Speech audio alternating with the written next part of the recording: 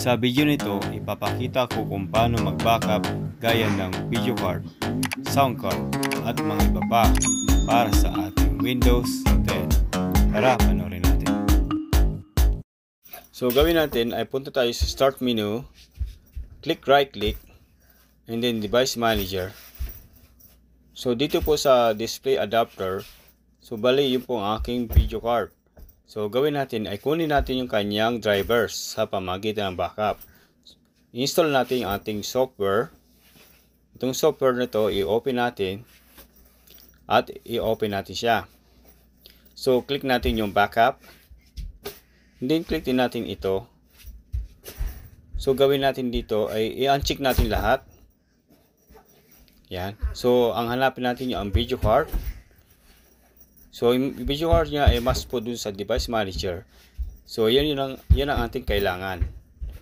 Then, okay. Tapos, uh, hanap tayo ng destination. Yung madali nating hanapin. Yan.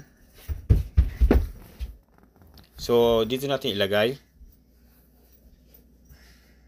Yan. So, di okay natin.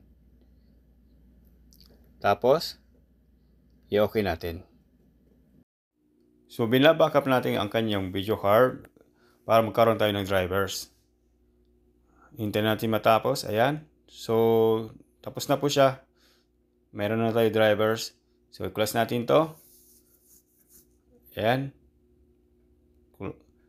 Ayan. So, ito yung ating drivers ng at, para sa ating video card. Ayan. I-open natin. Ayan. Meron na po tayo kopya o copy ng drivers para sa aking video card. So, scroll down natin, hanapin natin yung kanyang setup para matesting natin. Yan. So, ito yun. So, testingin natin ngayon. Yan, yes natin. Ayan, meron na tayong drivers. Ayan, working po siya.